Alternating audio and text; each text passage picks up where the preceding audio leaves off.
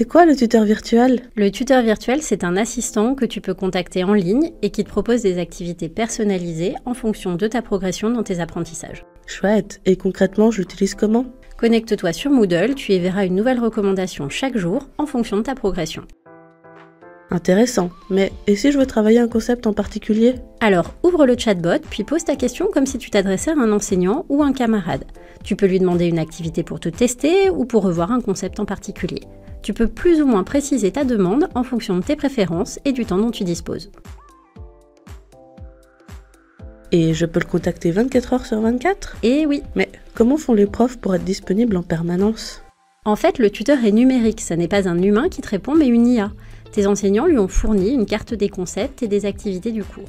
Grâce aux quiz et aux activités que tu réalises sur Moodle, le tuteur sait à peu près où tu en es, les concepts que tu maîtrises, ceux que tu es en train de travailler et ceux que tu n'as pas encore abordés.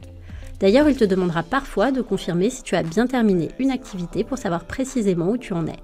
En fonction de ta demande et de ta progression, il va ensuite identifier les activités les plus pertinentes. Eh, mais c'est super intéressant cette carte des concepts. On pourrait y avoir accès? On y a pensé bien sûr. Tu peux y accéder depuis ton espace Moodle et te balader dans la carte des concepts. Les couleurs indiquent ta progression, vert c'est acquis, bleu en cours d'acquisition et blanc non commencé. Tu pourras aussi voir où en est le reste de ta promo, filtrer par type d'activité, par temps disponible. Clique sur un objectif pour voir les prérequis, les activités associées et démarrer une activité dans ton espace Moodle.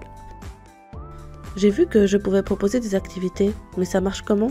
Tu as en effet l'opportunité de proposer une activité pour travailler l'un des objectifs. Concrètement, tu remplis un court formulaire, tu mets le lien ou tu uploades le document et après modération de tes enseignants, la ressource sera accessible à l'ensemble de ta classe et pourra alors être proposée par le chatbot.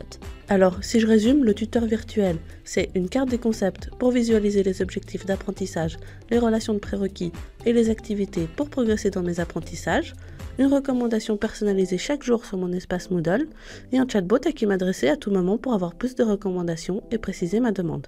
Te voilà paré pour tes révisions.